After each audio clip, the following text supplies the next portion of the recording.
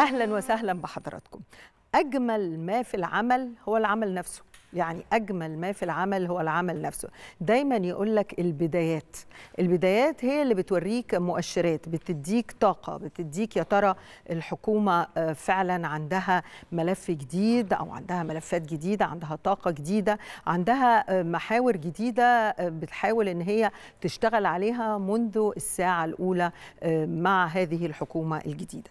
كمان الساده المحافظين لو أنتم متابعين حركة المحافظين المحافظين في المحافظات وفي شوارع المحافظات.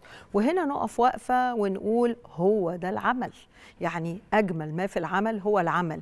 مش إنك تشوف المحافظ يعني بيتجول في شوارع المحافظة لأن ده شيء طبيعي. يعني أي محافظ بالطبيعي جدا إنه يكون بيتابع المحافظة بتاعته بيتجول من مكان للتاني. لكن الأجمل إنه يكون في حالة العمل يتفقد دون أن يعلم من حوله إنه هيتفقد منطقه ما شوارع ما. ده اللي حصل تماما في عدد من المحافظات وحضراتكم يمكن متابعين عدد من المحافظات وبالتالي بتلاقي على طول الأهالي بدأوا على طول يكتبوا ويقولوا يعني الناس بدأت تحس إنه المحافظين في حركة الناس بدأت تلمس الموضوع لأنه التفاعل ده على طول بيبان. إذا أنت موجود في وسط الناس الناس موجود في وسط مشاكلهم موجود معاهم موجود في الشوارع بتحاول تشوف وتراقب لأنه المواطن المصري بيطمن لما يلاقي المسؤول شايف بعينيه ومتابع بعينيه حاجات كتير خصوصا اللي عندهم فرصة إن هم يبقوا منفذين ويبقوا موجودين ويبقوا متابعين. المرة دي كمان في نواب للمحافظين نواب للسادة الوزراء فدي هتدي فرصة أكتر لمتابعة أكثر دقة بإذن الله. طيب نبدأ مع حضراتكم أولى يعني أخبارنا النهارده. وصلت اللجنة الخاصة المشكلة بمجلس النواب لدراسة برنامج الحكومة برئاسة المستشار أحمد سعد الدين الوكيل الأول للمجلس. وبشروا اجتماعاتهم لليوم الثاني على التوالي حيث عقد الاجتماع الثالث ليوم الخميس بحضور وزراء الصناعة قطاع الأعمال العام الإنتاج الحربي والمستشار محمود فوزي وزير الشؤون النيابية والقانونية والتواصل السياسي. وده طبعا بدوره أشاد المستشار محمود فوزي وزير الشؤون النيابية بنتائج عمل اللجنة. وأيضا أشار أن المناقشات تمت وسط إجراءات اتسمت بالديمقراطية والشفافية. وأيضا كانت فيها مكاشفة ومصارحة من جميع في جميع الملفات اللي تم مناقشتها. وكمان يمكن يعني كان عدد من الاستفسارات اللي موجودة والاستفسارات الخاصة الموضوعية من جانب أعضاء اللجنة الخاصة. كل ده كان موجود. خلينا نعرف تفاصيل أكتر عن هذه الملفات والمحاور وكيف كان النقاش. المستشار محمود فوزي وزير الشؤون النيابية والقانونية. سيادة المستشار مساء الخير يا فندم. مساء النور يا دكتورة شفكي ازي حضرتك. أهلا وسهلا. هو أكيد أنا مش دكتورة برضو بس مساء الفل على حضرتك طبعا وببارك لك ويعني الرجل الكفء في المكان المناسب دايما يعني. سيادة المستشار عايزين نعرف من حضرتك كمان كيف ده. اولا إحنا سعداء لأنه اللجنة مشكلة فيها عدد من الوزراء الملفات يعني في عمل مشترك ما بينهم فيعني أطلعنا كيف دار النقاش في هذا الاجتماع. طبعا زي ما حضرتك عارفة إحنا أمام لجنة برلمانية خاصة مكونة من 42 عضو برئاسة وكيل أول مجلس النواب. مهمة اللجنة دي إنها تدرس برنامج الحكومة الذي ألقاه الدكتور مصطفى مدبولي في في البرلمان. ومدة البرنامج ده ثلاث سنوات. البرلمان الحقيقة قرر إن هو هيناقش الموضوع ده من خلال اللجنة الخاصة دي على مدار ست أيام تحضر فيهم الحكومة كل يوم على اجتماعين وكل اجتماع يحضره مجموعة من الوزارات ذات النشاط المشترك. تمام. فلو حضرتك شفتي مثلا إن إحنا يوم الاربع امبارح إحنا في الاجتماع الأول حضرت معظم المجموعة الاقتصادية. المالية والتخطيط والتنمية الاقتصادية والاستثمار والتجارة الخارجية. دي المجموعة الاقتصادية. فطبعا الملفات مرتبطة ببعض. أكيد. الساده الوزراء بيعرضوا ما يتعلق باختصاصاتهم داخل برنامج الحكومة. أكيد. وبيتلقوا ملاحظات وأسئلة من النواب. بيدونوها وبيعلقوا عليها وبيقدموا ردود. تمام. الحقيقة ممارسة ديمقراطية محترمة الأسئلة فيها تعمق وفيها دراية ودراسة والخطط اللي, الوزراء بيعرضوها خطط تفصيلية فيها واقعية والردود فيها المام بالملفات. والحقيقة يعني ده اللي إحنا شفناه على مدار اليومين بأربع اجتماعات. أكيد. الاجتماع الثاني امبارح كان عندنا العدل والأوقاف والثقافة النهارده الصبح كان عندنا جلسة تقيلة الصناعة وقطاع الأعمال والإنتاج الحربي. وزي ما حضرتك شايفة إن هتلاقي عمل الوزارات دي مرتبط ببعضها. أكيد. وبعد كده لسه طالعين من مجلس النواب حالا من شوية. كان عندنا مناقشة برنامج النقل والطيران المدني والسياحة والآثار.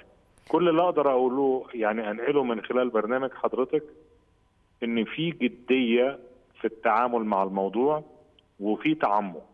في جدية وفي تعمق. والاثنين آه. الحقيقة أهم من بعض. وفي واقعية في الخطط وفي تفصيل ودراسة من النواب. يعني الأجواء يعني أنا أنا يعني في البرلمان بقالي كتير وشفت يعني يعني لجان كتير وشفت وقائع كتير.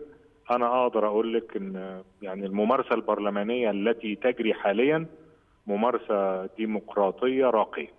طيب تمام. أنا كده يعني عندي اطمئنان وفي طاقة أمل وعمل أكيد واضحة جدا من ما ذكرته حضرتك. طيب سيادة الوزير برضو يعني يمكن عندي سؤال من شقين. الشق الأول يعني هذه الوزارات اللي, اللي تم تجميعها بأن المناقشات يعني يكون نشاطهم متقارب أو في تكامل أو في مصالح ممكن تكون موجودة وتهم المواطن. هل ده هيخلينا كمان هذه الوزارات تعمل بعد هذا اللجان ومناقشة البيان و... واجتماع البيان في المجلس يوم 21 هل ستعمل هذه الوزارات بعد ذلك أيضا بنفس التنسيق مع بعض؟ لأنه الملفات ممكن قوي إن هي تتم أسرع ويكون فيها إنجاز أفضل. والسؤال الثاني كمان ما هي الأسئلة اللي طرحها النواب أيضا في الاجتماعات أو الأشياء اللي تمنوها وطالبين إن هم يحققوها؟ طبعا فيما يتعلق بالتنسيق التنسيق واضح وأقدر أقول لحضرتك مثلا إن من المجموعة الاقتصادية يعني كانت ماشية كلها في اتجاه واحد. تمام. يعني أنا حضرت مناقشتها النهارده مجموعة النقل والمواصلات و... و... والسياحة والآثار والطيران ودي كلها برضه صح في, في حاجات مشتركة كتير. آه آه كلها ماشية كل الأدوات دي بتخدم على بعض. كلها ماشية في اتجاه واحد.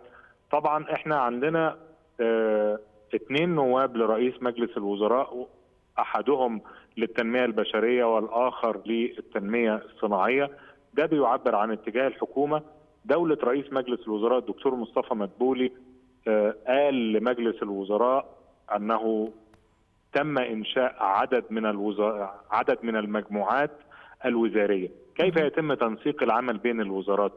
عن طريق مجلس الوزراء بتنعقد حاجة اسمها مجموعة وزارية مشتركة. تمام. دي بتضم آه عدد من الوزارات ذات الاختصاص المتقارب بيبقى ليها جدول أعمال وبيرأسها الوزير اللي نشاطه يعني أكثر يعني مساحة في نشاط المجموعة الوزارية وبيقعدوا يتناقشوا مع بعض بقى بالتفصيل يعني إجرائي وموضوعي. لحد ما يوصلوا لحلول يتم عرضها على مجلس الوزراء آه ويعني تبقى حتى وقت المناقشات في مجلس الوزراء أقل وقدرة الوزراء المختصين على التعامل مع التفاصيل بتبقى أكبر. فأنا بطمن حضرتك إن تنسيق العمل بين الوزارات ضرورة. ده لصالح المواطن ولصالح الحكومة. رقم اثنين إن هيتم إنشاء عدد من المجموعات الوزارية. دولة رئيس مجلس الوزراء هو اللي بينشئها وسيتم الإعلان عنها. دي بتضمن تنسيق الإجراءات والأعمال والقرارات والمناقشات بين مجموعات الوزارات ذات الاختصاص المتقارب. عموما يعني يمكن من كلام حضرتك لذكر كل يعني أنا حاسة باننا أمام فرق من العمل الوزارية. يعني الوزارات تحولت إلى خلية نحل بفرق من العمل الكل يعني في تكامل في توافق والتوافق مهم جدا. يعني قد نختلف ولكن في النهاية لابد أن يكون هناك توافق في الرؤى. أنا شخصيا بتمنى إن يكون في مثلا لجنة وزارية تجمع ما بين وزارة الثقافة وزارة التربية والتعليم والتعليم العالي والشباب والرياضة. لأنه دول في حد ذاتهم هيبقوا التنمية البشرية الحقيقية يعني. والصحة ممكن تدخل معاهم كمان. كده يبقى في أمان واطمئنان كبير يعني. آه أنا على المستوى الشخصي متفق مع هذه الرؤية وأنا أتصور إن إحنا هنمشي بمنهج علمي في إنشاء المجموعات الوزارية وانتظر قرارات دولة رئيس مجلس الوزراء سيتم الإعلان عنها يعني فور صدورها وهنتكلم عليها ونعلق عليها. وإن شاء الله يعني يعني يعني هسعد إن أنا أوضح لحضرتك هذه المجموعات الوزارية المشتركة. أكيد. إن شاء الله في تواصل مع حضرتك معالي وزير المستشار محمود فوزي وزير الشؤون النيابية والقانونية. أشكرك شكرا جزيلا ونتمنى لكم مزيد من التوافق والعمل لكي يخرج هذا البيان. اللي قدمته الحكومة الحقيقة يمكن هو أهم وأطول وأدق وأكثر بيان في تفاصيل الحقيقة من حكومات سابقة. فنتمنى بإذن الله إنه العمل على هذا البيان اللي مليان تفاصيل كثيرة جدا ولكنها تصب في النهاية لمصلحة المواطن. وأيضا في هذا البيان هتلاقي التحديات واضحة جدا الأولويات واضحة جدا. وأعتقد إنه بهذه الهمة زي ما قلت في البداية بدأت ساعة العمل للعمل. وده اللي بيأكد بان إحنا أمام حكومة أتمنى أن تكون مختلفة وتقدم كل ما تريده بإذن الله ونقدر يعني نوصل بالتحديات اللي إحنا حاطينها كأولويات لحلول بإذن الله أفضل للمواطن ولبلدنا. فاصل ونتواصل مع حضراتكم ونكمل معكم باقي فقراتنا الليلة في التاسعة. تفضلوا. أهلا بحضراتكم. اقتربت ساعة الصفر من انطلاق أكبر حدث رياضي وهو أولمبياد باريس. طبعا أنا عايزة أقول لكم باريس بتستعد بشكل كبير جدا وطبعا ده هيبدأ يوم 26 يوليو في الشهر طبعا الجاري ده. وطبعا مصر حاضرة وبقوة في هذا الحدث الرياضي الكبير في مختلف الألعاب الفردية والجماعية. بتشارك مصر للمرة 22 في تاريخها في الأولمبياد.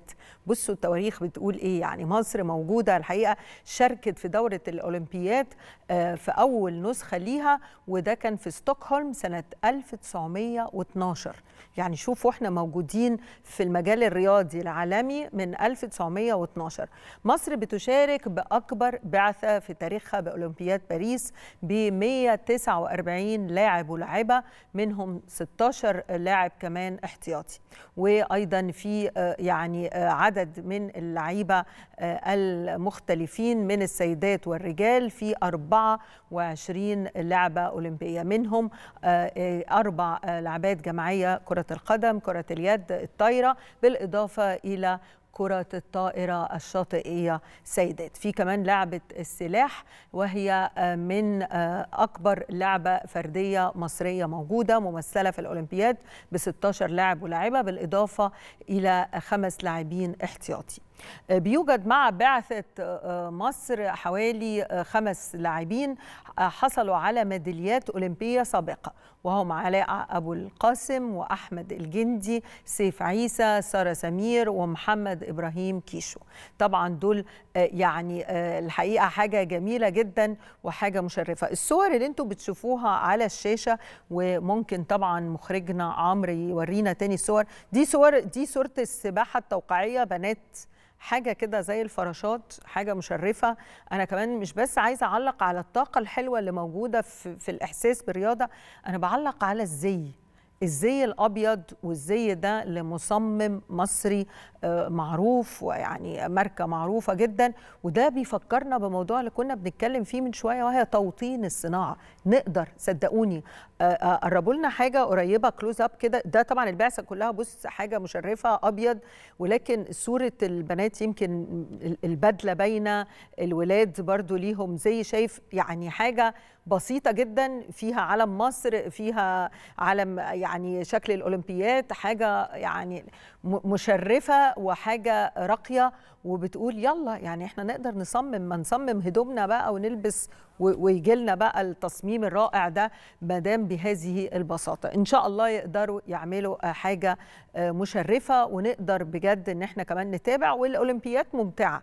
يعني يمكن طبعا إحنا بنتكلم دايما على كرة القدم بس صدقوني فرصة الأولمبيات إنك بتتابع لعبات كتير مختلفة وكلها أحلى من بعض. وعندك وقت طويل وأيام طويلة خصوصا في الصيف إنك تتفرج على الرياضة وفرصة كمان إنه الشباب يتابعوا ويتفرجوا على الرياضة طيب ده الجانب الإيجابي الحلو الجميل اللي إحنا إن شاء الله بنتمناه وإن شاء الله نشوف يعني البعثة المصرية المشكلة من فرق ولاعبين مشرفة بإذن الله. في بقى موضوع تاني الحقيقة شاغل الشارع الرياضي المصري وهو مشاركة شهد سعيد لاعبة المنتخب الوطني للدراجات حيث تستعد اللجنة الأولمبية المصرية برئاسة المهندس ياسر إدريس لحسم مصير مشاركة شهد سعيد كلاعبة للمنتخب المصري للدراجات في أولمبياد باريس 2024 المهندس ياسر إدريس قال أنه في لجنة تقرر تشكيل لجنة لبحث تلك الأزمة برئاسة أحد أعضاء مجلس إدارة اللجنة الأولمبية المصرية وعضوية كل من عضو قضائي وأحد أعضاء لجنة الشؤون القانونية باللجنة الأولمبية. وهيتم كمان تشكيل لجنة تظلمات تضم في عضوياتها عدد من أعضاء لجنة الشؤون القانونية باللجنة. طبعا خلينا نعرف تفاصيل لأنه شهد كان عندها مشكلة. قبل كده سابقة وخلينا نعرف تفاصيل المشكلة وليه تم تشكيل اللجنة في هذا التوقيت قبل بدء أولمبياد باريس. مهندس ياسر إدريس رئيس اللجنة الأولمبية المصرية مساء الخير يا باشمهندس أهلا بحضرتك. أهلا أهلا بحضرتك. يعني عايزين نعرف أولا ما هي مشكلة شهد سعيد؟ زي ما حضرتك شفتي في ال social media إحنا عندنا المعلومة من ال social media إنه في event كان معمول في شهر أربعة فشهد يعني خبطت زنقت يعني مع لسه هنبص على الفيديو بشكل أكبر يعني م. وخبطت اللاعبة اللاعبة وقعت واتصابت من اتحاد درجات خد قرار بايقافها أيوه. سنة محلي ما وقفهاش دولي طيب. يعني يعني الاتحاد وقفها بقانون محلي ولكن دوليا هي بتمارس يعني بتمارس لا وجودها. ما وقفهاش بقانون محلي هو وقفها داخلي يعني ما وقفهاش عن إيقاف محلي. أيوه. طيب أنا بس أنا بس هنا طلبنا من اتحاد الدراجات يدينا ملف بهذا الموضوع كامل. تمام. وعندنا يعني لجنه اجتماع معاه يوم السبت إن شاء الله. وإحنا عندنا لجنة القيم، لجنة القيم دي هتبقى برئاسه أحد أعضاء مجلس الإدارة طبقا للائحتنا. لائحتنا بتقول اللي يرأس لجنة القيم لابد إن يكون عضو مجلس اداره وهيبقى بعضوية اثنين مستشارين قضاء واثنين محامين من الإدارة القانونية للجنه الاوروبيه. طيب سؤالي بس هنا يعني مهندس ياسر حضرتك تكون صبور معانا شوية. يعني موضوع مشاركة اللاعيبه والموقف وإن هي يعني يعني أزاحت لاعيبه أخرى وبعدين الموضوع ده كان من فترة. طيب لماذا يعني يعني وتم وتم العقاب محلي زي ما حضرتك قلت أو بشكل يعني محلي؟ لماذا لم يتم الإيقاف كمان لأن هي هتمثل مصر؟ يعني إذا في لاعب تم عقابه وهذا اللاعب كان خارج عن نطاق السلوك الرياضي لأنه هو إحنا بنلعب رياضة ليه؟ الرياضة أخلاق. فلو أنا عندي جزء من يعني الأخلاق الرياضية بتاعتي مش موجود والمنافسات ما بيني وما بين لاعبين آخرين يعني فيها مشكلة يبقى أنا لازم أتوقف هنا. ده السؤال الأولاني. السؤال الثاني بقى حضرتك يمكن بدأت وقلت ال social media طيب. خلينا أسأل سؤال عشان ما توهش مع حضرتك. طيب اتفضل حضرتك يا فندم. نجاوب على السؤال الأولاني. السؤال الأولاني حضرتك إحنا كلنا عندنا لجنة للسلوك الرياضي. تمام. لجنة قيم يعني في وفي مدونة سلوكات سلوك رياضي. تمام. المدو... المدونة دي حضرتك المفروض انه كان يستخدمها اتحاد الدراجات. إحنا لما هنسمع اتحاد الدرجات هنشوف إجراءاته ونشوف هل هو عمل إجراء صحيح ولا إجراء خطأ. لأن إحنا في الآخر حضرتك دي أمور داخلية ما ينفعش إن إحنا كل حد نتدخل في شغله لأنه في الآخر ممكن يكون هو ماشي بإجراءاته سليمة. يعني هن- هنشوف الموقف شكله ما نقدرش. طيب ما وهنا أنا هسألك سؤال يعني اللجنة الأولمبية ما بعتتش تسأل موقف شهد سعيد إيه من هذا الوقف المحلي؟ يعني استفسار عن ال... يا فندم نسأل إمتى حضرتك؟ وقت الحدث ما حصل يعني وأنتوا وقت بتشكلوا الحدث يعني لا حضرتك. بتشكل الأولمبياد دلوقتي. يعني في فرق هتسافر. فأنا لازم أعرف إنه هذا اللعيب كان عنده موقف عنده مشكلة. قبل ما أنا أكتب اسمه أسأل الأول. لا ما حضرتك المعلومات هنا مغلوطة. اولا البطولات المحلية هي إدارة الاتحاد مش إدارة اللجنة الاولمبيه دي تمام نمرة واحد ماشي. ثانيا اللاعيبه متأهلة من شهر يناير. تمام. يعني, يعني متأهلة من قبل هذا الحدث. تمام. حصل الحدث بقى. واللاعيبه اكمل كلمه حضرتك. واللاعيبه لو ما تأهلتش يعني لو لو لغينا سفرها ملهاش بديل. يعني يعني حضرتك العقاب إن اللاعيبه ما تشتركش ومفيش حد هيشترك ده العقاب. آه لو اللعيبة ما سافرتش ما فيش حد هيسافر. آه آه، لأن التأهل بيبقى ليه فترة زمنية ومش كل الناس تقدر تتأهل سواء عن أفريقيا أو التأهل عن بطولة العالم. فهو ال ال الاتحاد حاول إنه يحل المشكلة انه يديها عقاب محلي ويسيبها تلعب دولي طبعا أنا مش مع هذا القرار بس أنا بقول ده القرار اللي تم اللي إحنا بنراجعه بقى معاه. طيب سؤال إحنا تاني. سؤال تاني مهندس ياسر. ما فيش حد رقم اتنين بعدها؟ لو رقم اثنين مش متأهل. مش متأهل. لا يعني في طيب. رقم اثنين ورقم ثلاثة بس مش طيب مؤهلين. تمام. أنا كل ده بس هي مع حضرتك. حضرتك حضرتك بتتكلمي في جزئية قيم وأخلاق. لو هي غلطانة تتعاقب. يعني ما هي يعني ما هي تعاقبت يا فندم؟ ما هو الاتحاد اداها عقاب محلي زي ما حضرتك ما هو إحنا عاوزين هو مقدر ما أنا ممكن يا فندم الخبطة دي أقول مش قصده قصده يعني هنشوف الإجراءات اللي تمت. يعني عن عمد ولا غير عمد؟ أنت حضرتك شايفاها في ال social media؟ كل كل الناس شايفاها عن عمد. هل النهارده الحكم كتب إيه في تقريره؟ المراقب ك... لازم نبحث الموضوع بإجراءات سليمة. طب طب هنا الكلام أكمل حضرتك بس. الكلام ده كلام دولي. يعني إحنا ما نقدرش نعرض مصر لحاجات باجراءات غلط لازم تكون إجراءاتنا صحيحة 100% تمام. كل الاحترام لكلام حضرتك ومعاك اسم مصر كبير جدا ولا نقدر نعرض مصر. بس كمان مصر محترمة قوي ومصر أخلاق قوي ولازم اللي اللي يمثل مصر يبقى قد مصر. حضرتك متفق معايا في ده ولا لأ؟ لا ما كنتش عملت لجنة آه، تمام. يبقى إحنا متفقين. يعني أنا لو بتسألني أيوة طبعا وأنا أيوة وأنا. رأيي هنا مجرد حضرتك. رأي ملوش طبعا علاقة لو بتسألني. لو في شخص جدا. يعني سهل جدا. كل آه. الناس تقول إن إحنا نوقفها كده على طول. لا دي ليها إجراءات لا طبعا طبعا. أنا مع الإجراءات. تمام مع الإجراءات. بس سؤالي هنا لحضرتك يا باشمهندس. هل يعقل إن إحنا في هذا الزمن عندنا اتحاد والاتحاد عامل عقاب محلي وبعدين عندنا اللجنة اللي بتاخد الناس المؤهلين وبعدين بتبدأ تشوف الأسماء. هل يعقل إن أنا دلوقتي أنتبه عندما كتبت ال social media أو صرخت ال social media؟ يعني المفروض إحنا اللي بنغذي ال social حضرتك ميديا. إحنا, لجنة أولمبية مش مباحث. يعني حضرتك كل ولا ال social media يعني مباحث. النهارده أنا أنا رئيس اتحاد السباحة. لو عندي لعيب كرة مية اتخانق في ماتش كرة مية المفروض اللجنة الاولمبيه تعرف؟ تعرف من الاتحاد اللي عاقبه. أيوه يا فندم لو تم. معاقبته. ما هو- الاتحاد بيدي عقاب يا فندم بس العقاب مش مش على قد الحدث. يعني الاتحاد ادى عقاب بس مش على قدر الحدث. عشان كده إحنا بنفتح الموضوع.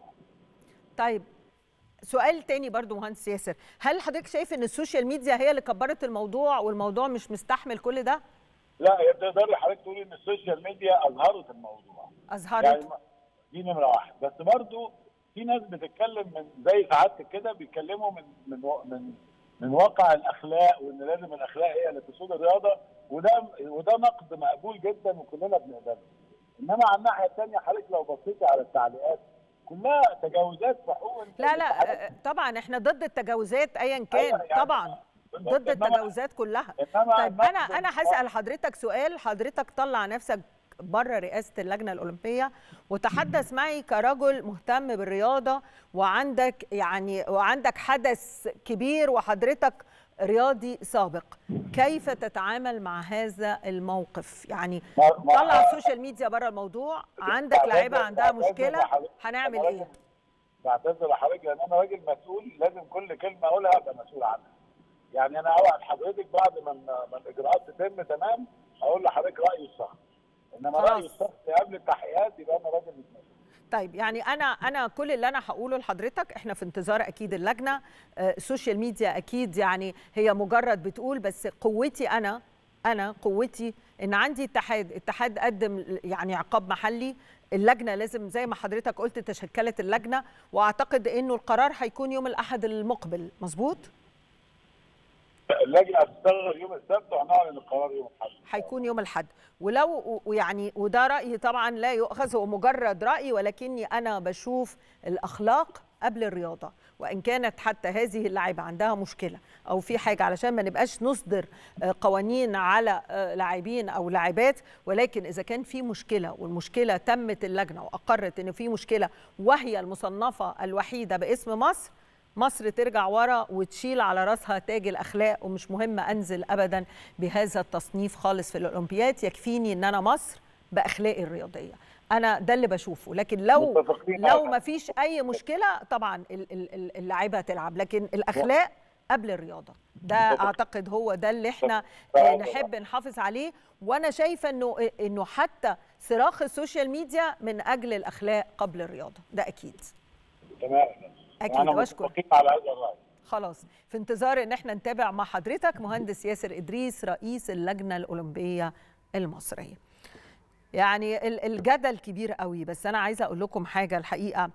أه وإحنا بنتكلم على حكومة جديدة قبل ما نكون حكومة وقبل ما نتكلم عن قرارات. إحنا عايزين نعيد مبدأ الأخلاق. يعني مبدأ الأخلاق. يعني هي ليه الأخلاق بقت إيه؟ يعني طب هنعمل إيه؟ مفيش بديل للاعب. مش مهم خالص. يعني مش مهم نلعب. مصر اسم كبير جدا. لو أنا طالعة أمثل مصر إن لم تكن أخلاقي تليق باسم مصر اللي أنا هشيله على راسي من فوق مش لازم ألعب ابدا. لأنه مصر كبيرة والنموذج الرياضي هو نموذج رياضي يحتذى به. يعني الناس بتبص للشخص الرياضي على إنه رياضة وأخلاق ومنافسة شريفة. فالأجيال كلها تبقى رافعة راسها. لما لو أي لاعب حقق ميدالية مثلا وعنده بقى مشكلة هنا محلية مش لطيفة وحقق ميداليه ده, ده لا يتفق ابدا. لأنه أنا عايزة أبص له بإنه يعني قبل ما يكون لاعب رائع ومصنف وهايل يكون كمان أخلاق قبل كل ده. فيعني خلينا دايما نتفق بإنه أكيد الأخلاق هي الأهم وهنفضل نعلي صوتنا من أجل إن تكون الأخلاق هي القانون السائد دايما في كل شيء. ويمكن الخبر اللي أنا هقوله ده لايق على الخبر اللي أنا هقوله لأنه في انضباط شديد جدا. في قرار يهدف إلى ضبط المشهد الإعلامي الرياضي. يعني وكأن سبحان الله الأخبار تتوالى. واستجابة للرأي العام المصري. أصدرت الشركة المتحدة للخدمات الإعلامية اليوم بيانا.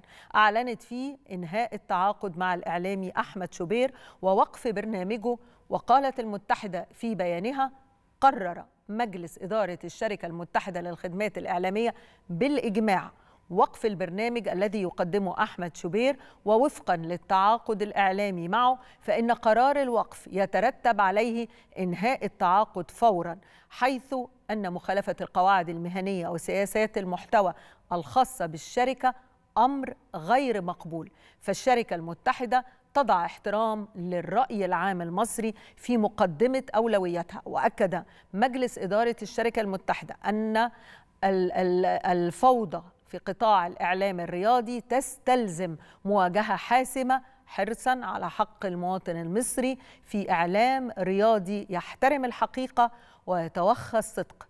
وتؤكد الشركة المتحدة حرصها على أن تقدم كوادرها إعلاما مهنيا. يحترم المشاهد وأنها لن تتوانى عن ردع كل من يعني يحيد عن المعايير المهنية التي تلتزم بها منذ بداية تأسيس الشركة المتحدة. يعني الكلام واضح جدا من الشركة المتحدة والبيان واضح جدا ونحن نتحدث عن إعلام رياضي أخلاقي مهني بمعايير. وأنا عايزة أقول لكم حاجة مش بس الإعلام الرياضي الإعلام كله له معايير. يعني درسنا في كلية الإعلام وتتلمذنا على أساتذتنا والقعدة هنا على هذا المكان وأمام حضراتكم هي في حد ذاتها التزام التزام كبير. الصدق وأيضا الأمانة نقل المعلومة المهنية الاحترام والأخلاق. فيما عدا ذلك يترك أي إنسان هذا الكرسي حتى تستقيم دائما الأخلاق والمهنية. الإعلام قبل أي شيء مهنية وأخلاق. شكرا للشركة المتحدة فاصل ونتواصل.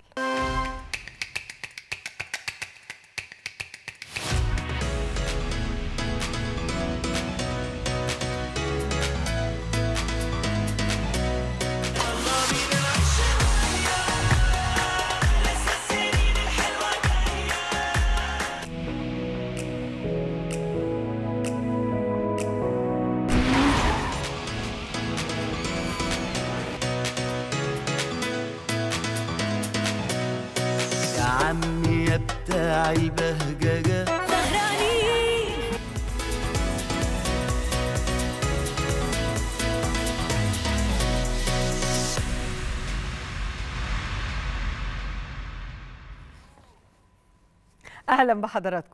تنطلق اليوم فعاليات اليوم الأول من مهرجان العالمين الجديدة طبعا في دورته الثانية واللي بينطلق حتى 30 أغسطس بإذن الله المقبل. إن شاء الله فرصة حلوة جدا تستمتعوا بهذا المهرجان. المهرجان العالمين بينطلق في نسخته الثانية في الفترة من 11 يوليو من اليوم وحتى 30 أغسطس زي ما قلت لحضراتكم وبيشهد فيه فعالياته طبعا فعاليات مختلفة فنية رياضية, رياضية وترفيهية وكمان في فعاليات كتيرة جدا للأطفال ضمن مهرجان نبتة للطفل. وطبعا بعد النجاح الكبير اللي حققه المهرجان في نسخته الأولى في العام الماضي يعني هذا العام إن شاء الله هيكون فيه حاجات كتير مختلفة بخلاف الغنى. المشهد هيبقى أكيد حاجة حلوة وزي ما أنتم تابعتم الصورة وإن شاء الله تستمتعوا بكل ما سنتم نقله بإذن الله لحضراتكم من فعاليات مهرجان العالمين وقريبا إن شاء الله نكون معاكم كمان في العالمين. لكن خلينا نروح نتابع كواليس فعاليات اليوم الأول. من مهرجان العالمين الجديدة ومع مراسلنا مراسل التاسعة الزميل محمود جميل. خليني أمسي على محمود. ومساء الخير يا محمود. شايفة اللون الأورنج بقى والألوان و والممشى والك... وعندك الأبراج بقى من وراك. يعني أولا الجو أخباره إيه يا محمود؟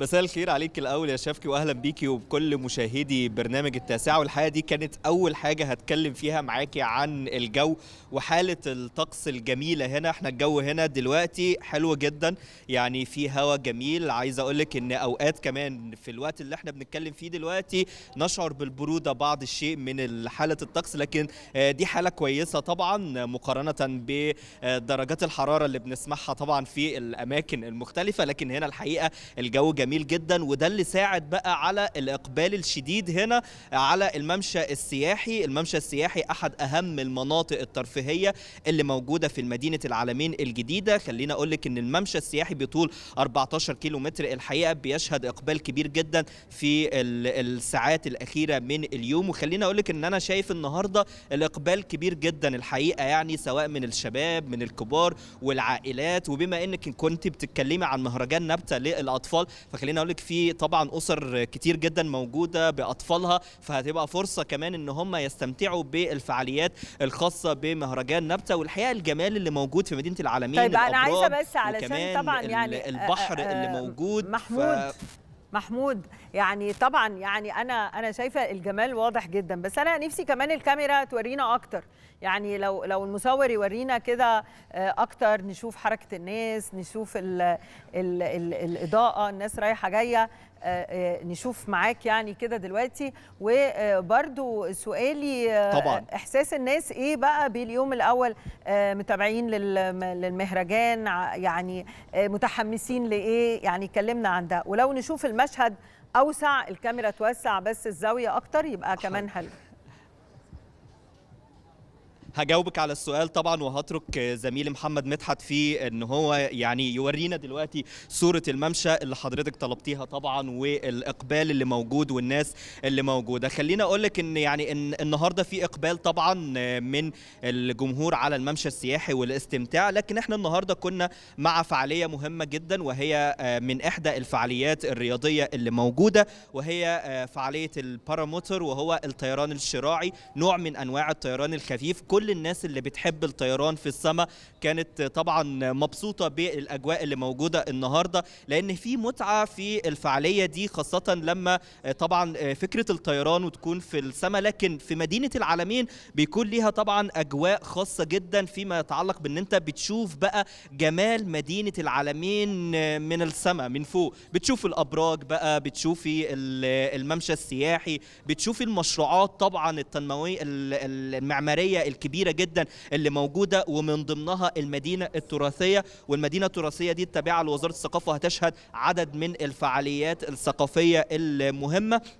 وخلينا أقول لك كمان إن من ضمن ال ال الفعاليات إحنا عندنا كمان فعاليات كتيرة جدا خلال هذه الفترة وخلال طبعا فعاليات المهرجان الممتدة لحد يوم 30 أغسطس. لكن من ضمن طبعا الفعاليات المنتظرة هو حفل ال King محمد منير اللي هتكون بكرة إن شاء الله في شاء الله. العلمين Arena. وأكيد كل الجمهور متحمس إن هو يكون موجود مع ال King محمد منير. وطبعا الشركة المتحدة للخدمات الإعلامية لا تنسى طبعا الأشقاء الفلسطينيين الفلسطينيين. علشان كده بخلاف طبعا القرار اللي طلع بتخصيص 60% من أرباح المهرجان لدعم الأشقاء الفلسطينيين بكرة كمان مع قبل حفل الكينج محمد منير هيكون في فعاليات للدبكة الفلسطينية وهنشهد طبعا الدبكة اللي كل الناس بتحبها خاصة من الفلسطينيين. هتكون موجودة طبعا على مسرح العالمين أرينا. بالمناسبة دلوقتي بيتم الانتهاء من كل الاستعدادات الخاصة بال stage وبالإضاءة وبالبروفات بتتعمل بتتعمل طبعا في العلمين. Arena علشان تستقبل كل الزوار بكرة لحفل ال King محمد منير. بخلاف الفعاليات طبعا هيكون عندنا فعاليات ثقافية وفعاليات رياضية. إحنا بنتكلم تقريبا على خمس مهرجانات ضمن مهرجان العلمين الجديدة صحيح في نسخته الثانية مهرجان نبتة للأطفال وده اللي اتكلمنا عنه. طبعا عندنا مهرجان الترفيه والغناء عندنا مهرجان الثقافة وهيكون في عروض ثقافية لوزارة الثقافة. وبالمناسبة الممشى السياحي هيشهد عدد من الفعاليات الخاصة بوزارة الثقافة فرق التنورة فرق طبعا بص يا محمود الفرق المختلفة لوزارة الثقافة. بص يا محمود فضلي. الجميل اللي انت قلته كمان يعني يمكن كمان إحنا عرضنا وانت بتتكلم شفنا الطيران الشراعي. يعني اذا الناس تقدر تستمتع جدا بالعالمين طول اليوم. يعني الصبح عنده شايف البحر مش معقول جماله ولون. يا جماعة مصر دي بديعة. شايفين الألوان والبحر والطيران الشراعي. حاجة يعني حاجة بديعة. وطبعا الجميل إنه الناس تقدر تستمتع طول اليوم. يعني في مهرجان اللي عايز يبقى مع فرق ثقافية. في الأطفال ليهم أيضا مهرجانهم. زي ما أنت قلت يا محمود صحيح. رياضة بحرية طبعا. وطبعا الحفلات الغنائية لكبار مطربين من مصر ومن العالم. العربي كمان هيبقى موجود. يعني الحقيقة في يعني جهد كبير جدا حاجة واضح إنها هتبقى ممتعة.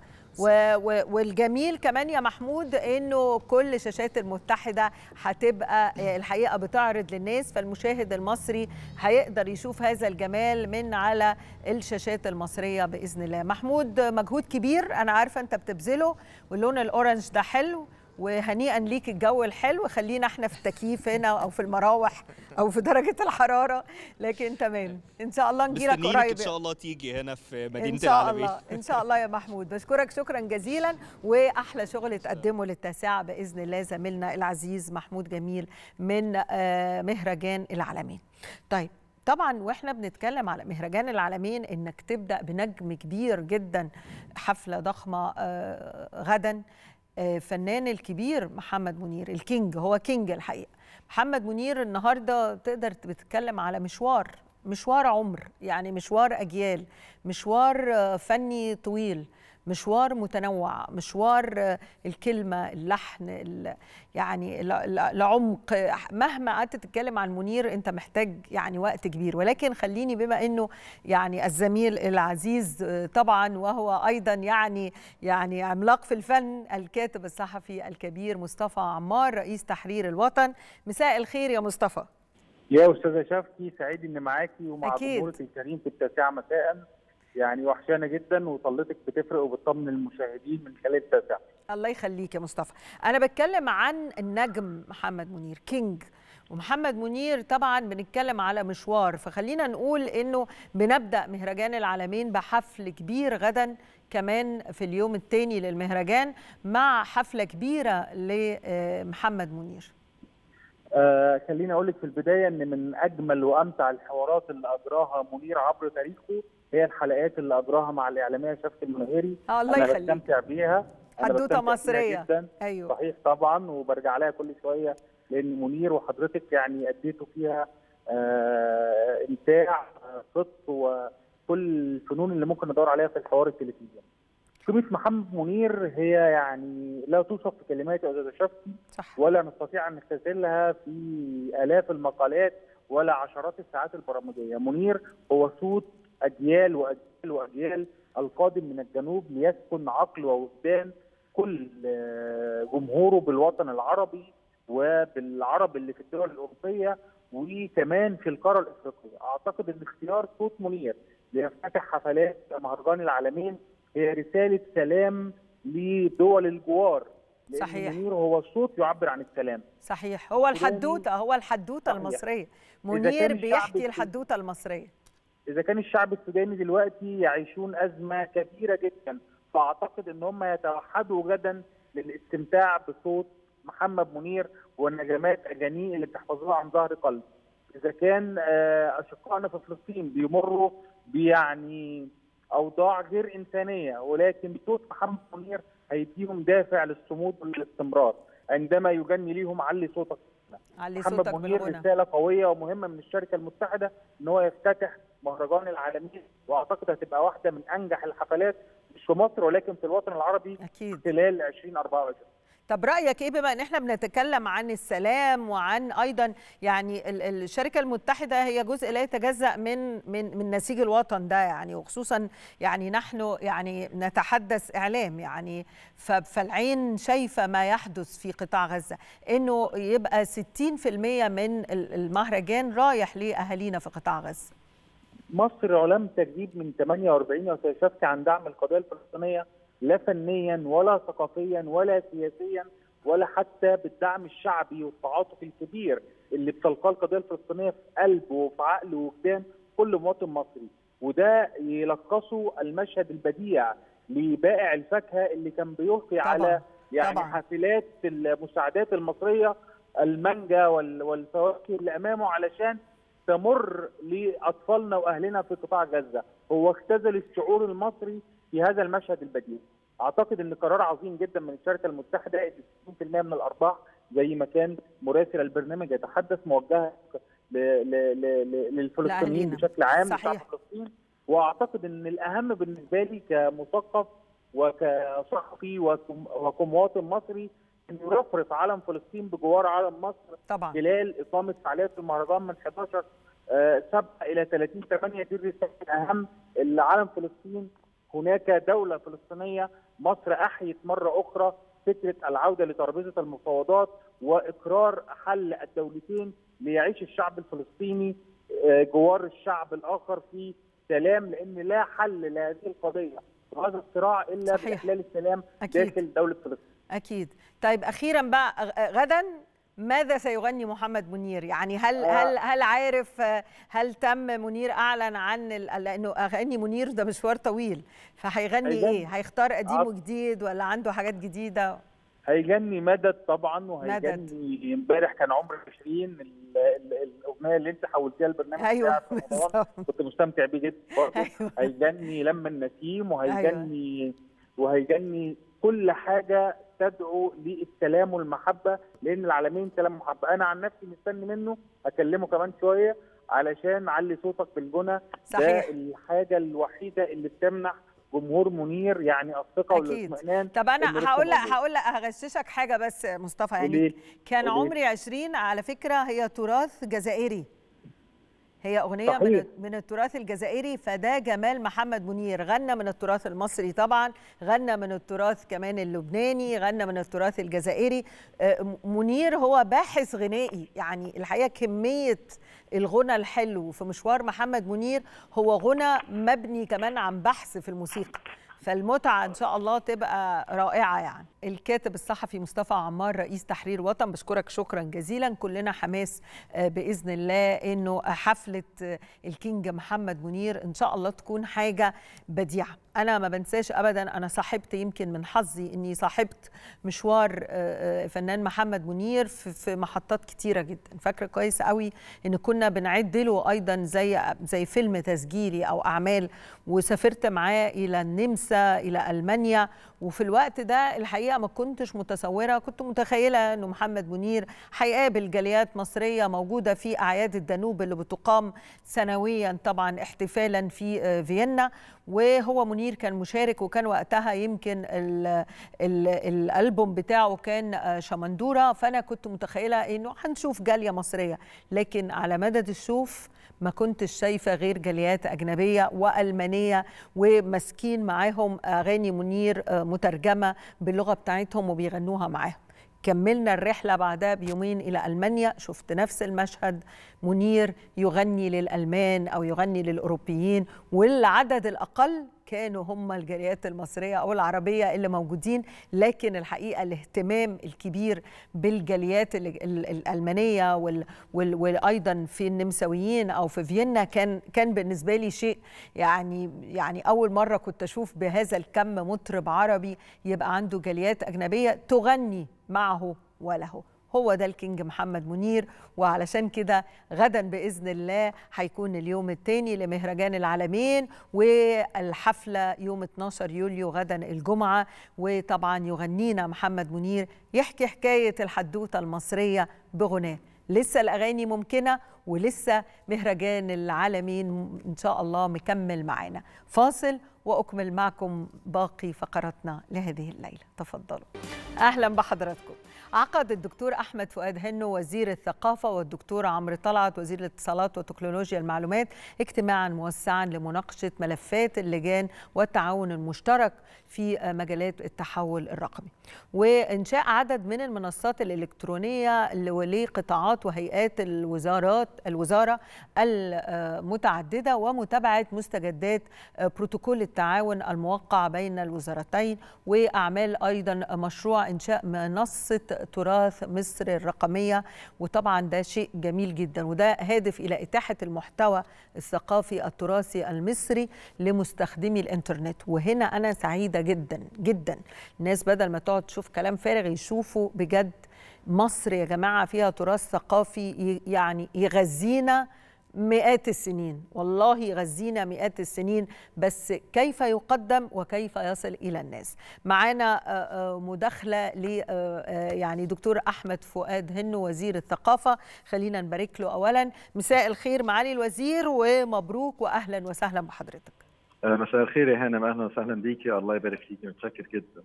يعني أنا اولا سعيدة إنه بدأ يكون في تواصل بيننا وبين السادة الوزراء. وطبعا وزير الثقافة يعني إحنا بنتكلم عن بنى للإنسان. فبرضو اطلعنا على التعاون اللي حصل واللقاء اللي كان ما بينكم وما بين وزارة الاتصالات وإيه اللي ممكن نستفيد منه. مبدئيا ده شرف كبير طبعا إن إحنا على منصة سيادتك طبعا وده يزيدنا شرف ويستزيد بينا فضل يعني.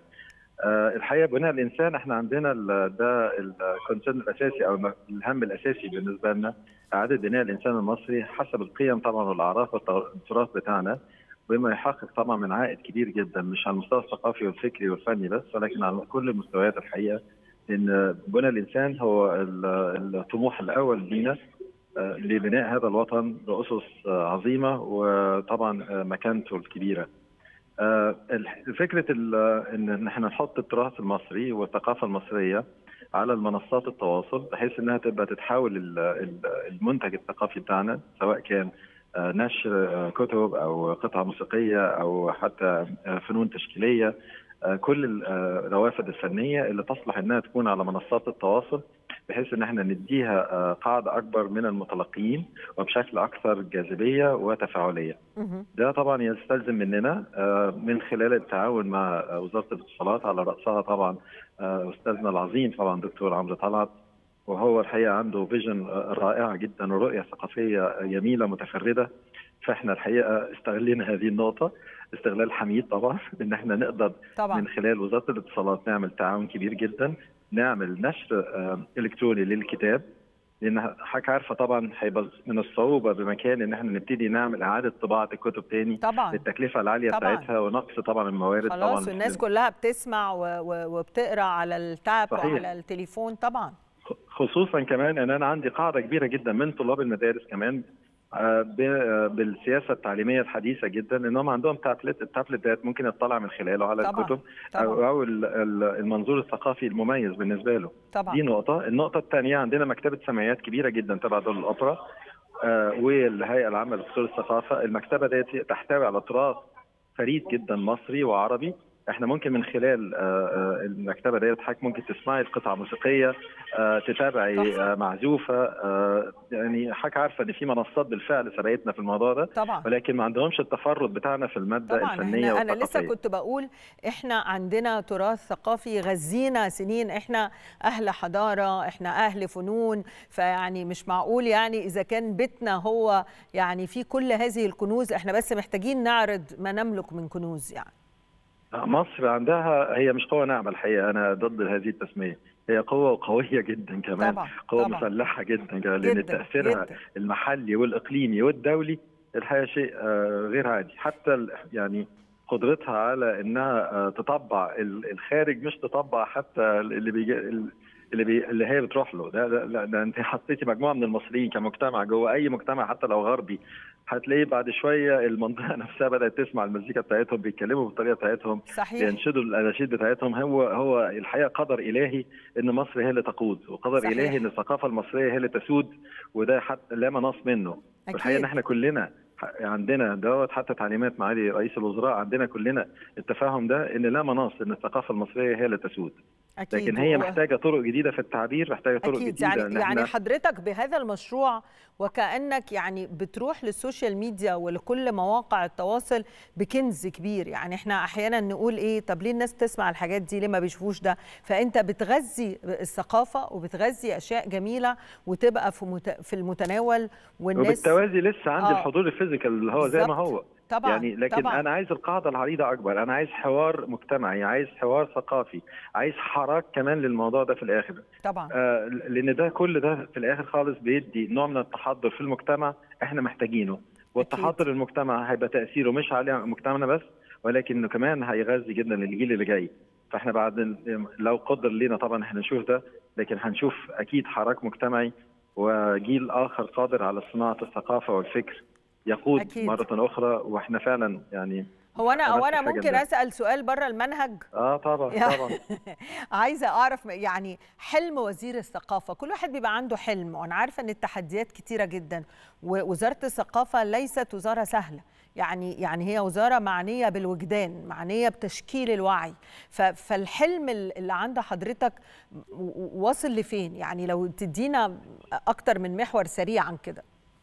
ده الحلم بتاعي على فكرة هو بسيط في مبدأه ولكن يمكن يكون ليه عمق شوية. أنا عايز الحلم بتاعي ان يكون في مجموعة من الناس في يوم من الأيام هتقعد بتتناقش في قضايا فنية تتناقش في اللوحة الفنية ومفرداتها تتناقش في العزوفه والأنشودة الموسيقية وإزاي يحللوها. عنده قدرة على إنه يقرأ الكتاب ويحلل الأفكار اللي فيه. عنده طرح فكري مهم جدا. عنده تحضر بيصدره لعائلته لأولاده وللمجتمع اللي هو موجود فيه.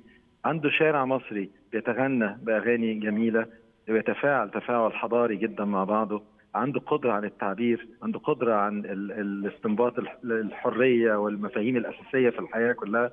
عنده تحضر جميل هو أصلا هو أصله لكن هو يمكن تناسى شوية هذا المقدار من التحضر والتثقيف. محتاج حد بس يفكره. فأنا حلمي بسيط في أساسه إن الناس تقعد مع بعض وتستمتع وتحس بالجماليات الحياة اللي حواليها. تحس يعني لون يعني. يعني تكوين يعني حياة. أكيد. أنا يعني كلنا بنحلم مع حضرتك وبنحلم كمان إنه الثقافة تبقى موجودة في كل محافظات مصر. عودة قصور الثقافة بقوتها السينما الحياة مسرح القرية كل الحاجات الحلوة. بقول لسيادتك هي حياة هي مش حياة. ثقافة. هي, هي حياة. فعلا. إحنا في حياة. انتظار الحياة. يعني آه، الحياة إحنا في انتظارها ومتعطشين ليها لأنه يعني محتاجين بس نظهر آه، جمال إحنا مصر بس عندنا الفكرة الأخيرة لو تسمح وقتي طبعا, طبعا لسيادتك. اتفضل اتفضل حضرتك. الثقافة كمان مش مقتصرة بس ودي من الأحلام بتاعتنا ودي ال application الأخير إن إحنا بنعمل زي virtual قصر virtual قصر ثقافة افتراضي.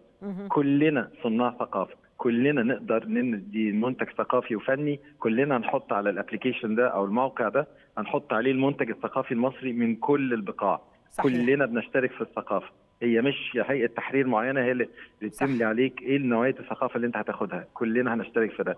المصريين أقوياء جدا عندهم قوة إبداعية غير عادية في كل المجالات في الموسيقى في الرسم في التصوير. في كل المجالات أنا مش عايز أنسى حاجة الحقيقة أدب شعر كل أكيد. حاجة أنا متأكدة إحنا مش أقل من إنه الناس بتروح حي مونمارت في باريس في ال Sacré-Cœur عشان يشوفوا الفنانين بيرسموا فما أجمل فناني مصر لما نشوفهم يا فندم أنت في أجمل أحيائنا يعني البائع الجائل في مصر بي بيلحن موسيقى صحيح بيعزف صحيح يعني إحنا إحنا بياع كده. يعني نفسه بيعمل موسيقى. بيعزف هو بيعزف موسيقى أكيد. هو الشعب عنده ملكة ديت غير عادية.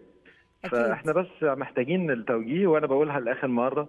الحكومة أو أنا الحقيقة كوزير ثقافة أنا مش بصدر الثقافة أنا منسق ما بين المؤديين والمثقفين عند الحكومة.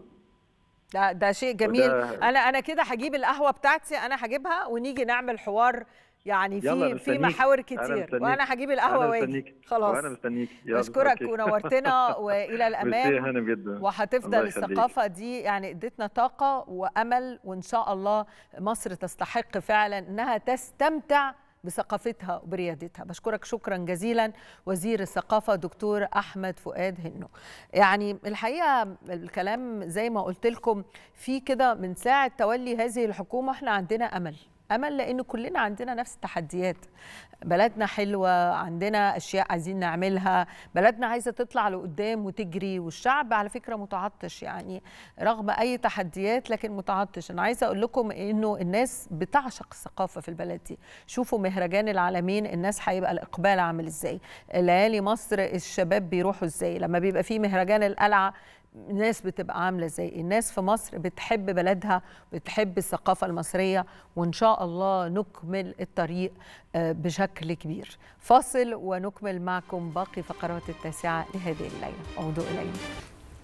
من كام يوم أعلن المهرجان القومي للمسرح المصري برئاسة الفنان محمد رياض في دورته ال 17 عن تكريم المؤلف والمنتج المسرحي الكبير أحمد الإبياري.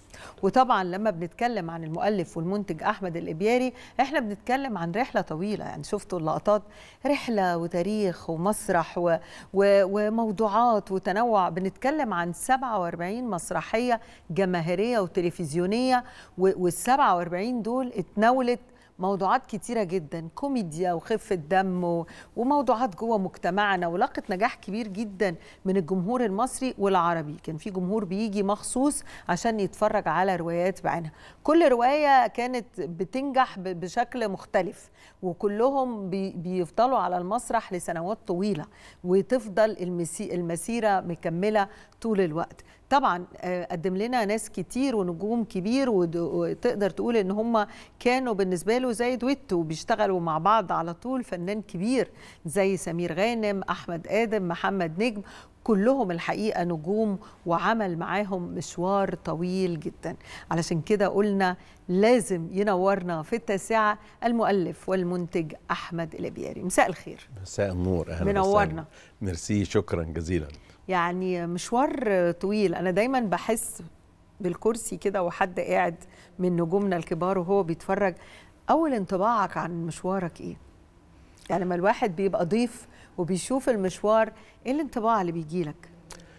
الانطباع آه، آه، يعني آه، يعني يعني أنا طبعا في الرحلة دي عانيت جدا يعني عانيت معاناة شديدة جدا. و ولكن لما بتوصلي في الآخر مش ل- بتوصلي إن إن الناس حاسة ب- بال- بالرحلة أو حست بال بالمشقة الرهيبة اللي كنا عايشينها وب- وب- وبيتقال لي شكرا أو بت... دي بالنسبة لي لوحدها آه، في كفة لوحدها. آه، ال- آه، لأن ال ال إحنا يعني يعني في الرحلة دي أنا كل ما أتذكرها مش مش مش مصدق إن أنا مشيت فيها. مش مت يعني مصدق إنك عملت 47 لا، مسرحيه مش مصدق الرحلة. كل مسرحية كانت بتقعد معاك سنين. أنا في مسرحية قعدت معايا سبع سنين دورمي أيوة. فاصوليا.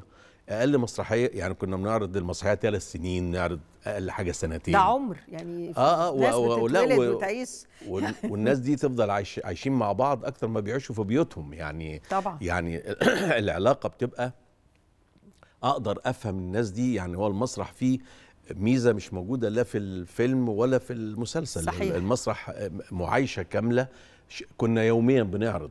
يعني أيوة، عيلة، فمش- عيلة، آه حياة كاملة. فعارفين كل حاجة عن بعضينا. طبعا. وال- وال- والمشاكل الخاصة بيا أو الم- أو الخاصة بال طبعا بتشوفوا بالفنان بعض يوميا. بن بنحكيها لبعض. طويلة. بنحكيها لبعض. غير لما يكون في فيلم هيصور المشهدين ويمشي. ونمشي. مش كده؟ طب تعالى نرجع الشريط مم. يعني الأول يعني أعرف انطباعك السريع عن تكريم مهرجان المسرح أه، ما هو أنا قلت إن ده نوع يعني أنا ب ب طبعا بتوجه بش- بالشكر تماما ليهم يعني و و وإنهم يعني آه، رغم إن إحنا قطاع خاص لكن حسوا بال بال بالمشوار بالمجهود. وبالمجهود وإن إحنا كنا بنقدم مسرح بحق وحقيقي أيوه. و... و... و... وإن إحنا ما كناش بنعمل مسرحية يعني نشتغل بيها في الصيف آه، مش عارف إيه ونقلب ون... ونشتغل حاجة تانية. أنا اشتغلت مسرح ما عملتش مشروع تاني جنب المسرح. لا لا, لا عملت كافيه ولا عملت ما كانش عندك مطعم ولا عملت agence. عربيات ولا بنيت عمارة. أنا آه، شفت اللي قبل مني آه، بي بي بي- بيشتغلوا في المسرح بيدوا المسرح والمسرح بيديهم وبعد كده يدوا للمسرح وبعدين المسرح يديهم. يعني آه، هات وخد جوه ال ال ال أيوه ال- جوه. العمل نفسه. طيب هرجع بالشريط وأقول إنه يعني أحمد الإبياري ابن طبعا يعني العظيم أبو سعود الإبياري. فأنت يعني عشقت الفن من وأنت طفل. آه طبعا. أنا آه بصي ما- هفضل أقول آه أول يوم دخلت فيه مسرح أنا فاكره كان عندي أربع سنين ونص. وكنت بصحبة والدي يعني. وده مسرح ميامي لأن برضو لازم أقول حاجة إن أنا آه والدي يعني ساهم مساهمة كبيرة جدا في المسرح. مسرح ميامي ده كان سينما صيفي كراسي قش وبنوه مسرح هو وإسماعيل ياسين يعني. فأنا دخلت المسرح ده وأنا عندي أربع سنين ونص. وأتذكر إن أنا يعني الموظف كان شايلني كده واقف آخر الصالة وأتفرج على ال- العرض. على عروض على العرض لا هو كان مسرحية يوميها يعني. أيوه. فأنا انتابتني حالة من القشعريرة. حسيت إن جسمي مش وأنت أربع سنين. واربع سنين ونص. حسيت بالإضاءة نازلة على الستارة والستارة لونها أحمر وفي مزيكا وبعدين الستارة بتتفتح وبعدين في جمهور بيسقف. كل اللحظات دي أنا استوعبتها وأنا وأنا طفل صغير وفضلت في ذاكرتي ومع الوقت بقى إن أنا دايما كان والدي كل أسبوع ياخد واحد من أنا يا إخواتي كل واحد بقى لوحده. كل واحد يروح يوم. يروح يتفرج على مسرحية. وكنا نستنى بالدور بقى.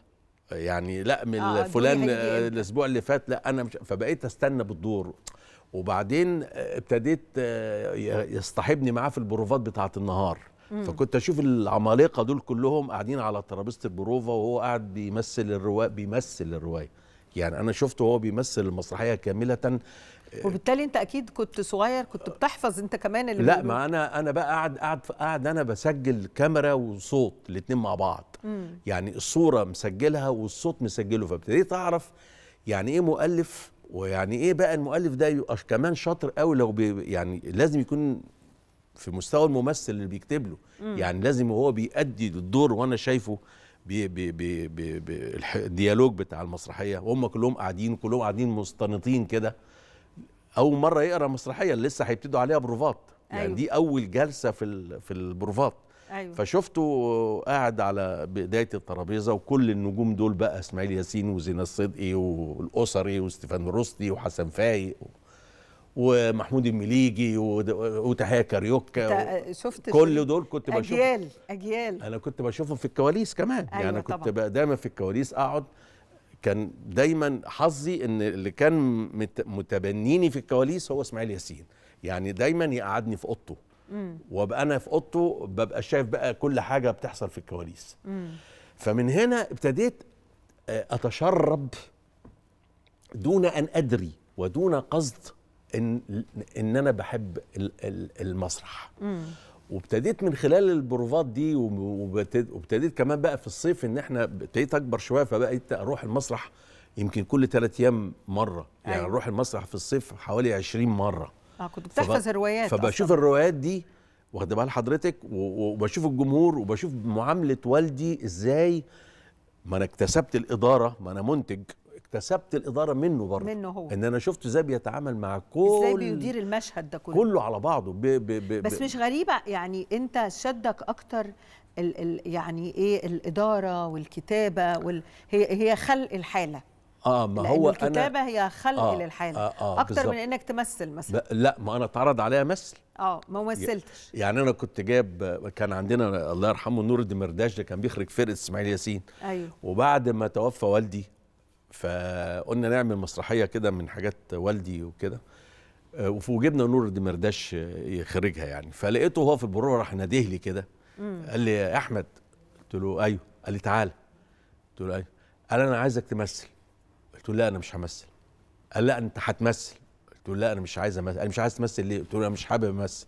قال لي هبعت لك مسلسل على البيت النهارده وتقراه. وبعت لي مسلسل. وقعدت أقرأ المسلسل. ولم ي- ما تشددش نهائي لأن أنا في جوايا إن أنا مؤلف. آه أنا عايزة ألف الحالة اللي هيقولها الممثل. آه أنا عايز أبقى مؤلف. فلما بقيت مؤلف إيه بقى اللي نقلني الانتاج أول مسرحية يعني أنا بعد وفاة المسرحيه بتاعت فريد شوقي. آه أنا بعد وفاة والدي يعني يعني إحنا قلنا هو وصى إن إحنا لأ ما من ما نقربش من الشغلانة دي لما نخلص الجامعة. خلصت أيوة. الجامعة. أيوه. وقلت من حقي بقى كنت أكتب حاجات كده وبتاع مش عارف إيه لكن منتبه إن أنا أخلص دراستي فكتبت كان هو عامل فيلم اسمه ومضى قطار العمر. أيوه. فرحت أنا عامل مسرحيه اسمها ومضى قطار الحب. أيوه. ورحت له قطار ال- العمر ده فريد شوقي. أيوه ما هو فريد أيوة. شوقي. فرحت له الفيلا بتاعته وقعدت معاه. وكان يحبني أو برضه كنت بشوفه في المسرح يعني بقى. أنا والدي كان عامل له مسرحيات هو وماري منيب. كنت صح. بشوف بقعد في أوضة ماري منيب. أنا كنت أيوة. بقعد في أوضتها أيوه. وبطلع له في الأوضة عنده في في المسرح. فعرضت عليه الفكرة عجبته جدا. وقال لي دي أنا هعملها في الصيف. بس أنا مش منتج أنا لسه صغير صغنطوط يعني. فالمهم هو كلم منتج وبتاع مش عارف إيه وايه وايه وقعدوا معايا وقالوا لي اجرك هيبقى 200 جنيه خد ادي 20 جنيه والباقي اليوم الافتتاح. أنا بقى إيه ما بين البروفا أروح ما اروحش بتاع لغاية قلت أروح يوم الافتتاح بقى. آه، كان في اسكندرية. ركبت القطر زي ما خليق ربنا ورحت إيه رايح اسكندرية ونازل من المحطه ان الاقي افيش مكتوب عليه ومضى قطار الحب مش لاقي. كل شوية ألاقي مكتوب إيه بحبك وشرف أمي بحبك أيوة. وشرف أمي أقول له مين المؤلف ال- اللي كاتب مسرحيته بالاسم ال- السخيف؟ لغاية ما رحت المسرح لقيت بحبك وشرف أمي تأليف لا أحمد وكان الابياري وقتها ال- ال- المصطلح أيوة، ده آه، آه، مش ما أنا ما مش عنديش- بتاع الزمن ده آه، كان ت- جريء على كده تأليف أحمد الإبياري فدخلت الراجل منتج قلت له إيه ده مين؟ إيه بحبك وشرف أمي؟ قال لا روح بقى الأستاذ فريد هو اللي آه، دخلت له قال لي عارف هتقول من آه، اسمع كلامي أنا عمك طبعا كان عمي طبعا أستاذ. طبعا. آه الناس هتفت... مضى قطار الحب ده هيفتكروها مسرحيه حزيني زي الفيلم. أيوة. أنا شرف أمي دي لازمة عندي بقولها. أيوة. الناس بتحبها قوي. وهتشوف يعني وفعلا مسرحية آه، يعني كان يخش يفضلوا يقولوا الجمهور يتجاوب معه ولكن أنا في اللحظة دي ما كنتش سعيد. آه ليه؟ ليه؟ لأن أنا كمؤلف مش هو ده اللي يعني إزاي أنت من من ورايا أنتوا تغيروا لي اسم الرواية؟ إزاي من ورايا تعملوا كده؟ لا أنا حابب إن أنا أبقى أنا ما بقاش حد تاني. أيوه. اتكررت الحكاية دي تاني مع مخرج كبير. وكنت وكان بقى اتنين تغيير تبني الاسم برضو. ها تغيير الاسم. لا ده غير تغيير الاسم بقى. يعني أنا شفت واقعة كان هو مخرج كبير أستاذ سيد راضي يعني. ف وكان بيعمل مسرحيات تلفزيونية لصلاح ذو الفقار. فلقيت صلاح ذو الفقار أنا قاعد بقى مع سيد راضي بس ما حدش يعرفني يعني. كان سيد أيوة. راضي يعرفني إن أنا إيه بكتب وبتاع وعايز أعمل رواية وحاجات كده. ده بعد بحبك وشرف أمي يعني. فلقيت صلاح ذو الفقار بيقول له لا سيد الورق مش عاجبني. لا ما أعملش أنا حاجة كده. لقيت إيه صلاح ذو الفقار معترض تماما على المسرحية. قال له طب ما تزعلش وبتاع مش المهم إيه لقيت سيد رائد بيقول لي تعالى معايا البيت. رحت مع البيت كان الساعة 8 بالليل. قال أنا عايزك تقعد بقى خد اقرأ الرواية دي وظبطها وبتاع و و و و و واتعشى ودخل نام وسابني في أوضة السفرة أقعد من بالليل لغاية الفجر أكتب الرواية من جديد. تعيدها تاني. آه.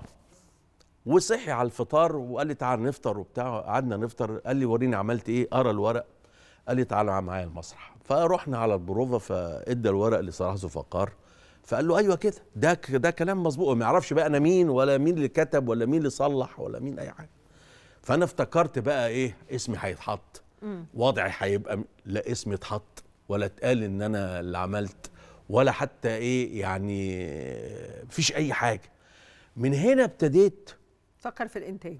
إن أنا لازم أبقى, أبقى منتج. كل الأدوات معايا بقى. أنا راجل بكتب والناس أنا أنا أنا أنا ساعتها في في, في, الوقت ده ثلاثي أضواء المسرح اشتروا مني مسرحية وما عملوهاش. بس والفنانين المتحدين اشتروا مني مسرحية وما عملوهاش. فبقيت متجنن.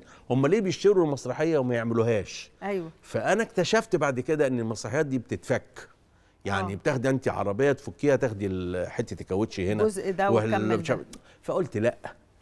خلاص أنا هبقى منتج. طب هبقى منتج إزاي وأنا معيش فلوس؟ أيوه. ما هو منتج من غير فلوس ما يبقاش منتج. ولكن استغليت بقى علاقة والدي بفرقة الريحاني ومسرح الريحاني ان هو اللي قومهم بعد وفاة بديع خيري.